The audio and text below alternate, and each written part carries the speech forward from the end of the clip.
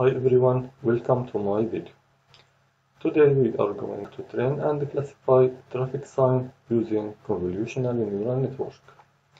The first step, we will import libraries like NumPy, Matplotlib library, TensorFlow, OpenCV, and sklearn, and so on. We will initialize some variable here. We have 43 classes or labels and we will make visualization for it as we can see it. We will move to loading dataset and resize image. We will use OpenCV for image read and image resize and we will use NumPy library for converting list into array. As we can see here the image shape is 30 by 30 by 3. We will make split the data into three variables test size and train size and validate size train size we it will be take 70% from data test size 10 10% from data and validate size it will be take 20% from data. Building model is the very important step. As we can see, the model contains some of different layers, as we can see.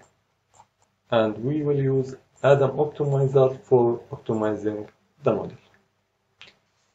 We will compile neural network and we will get a summary for model and we will plot the model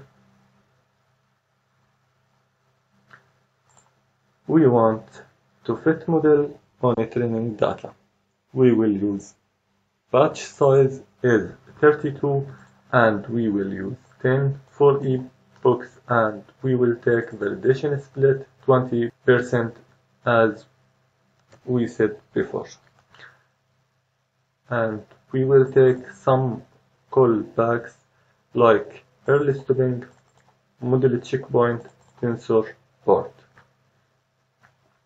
we will evaluate the model and we get 98% for training data and test data when evaluation the model.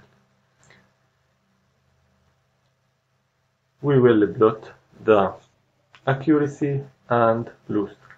The loss is decreased but the accuracy is increased.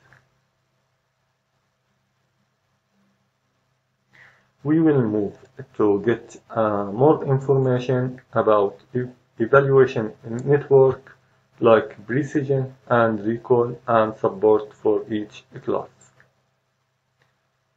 And we will get confusion matrix also as we can see here the confusion matrix for our for our model. Finally, we are made GUI for predict any image we want to know which class are full. We will run the code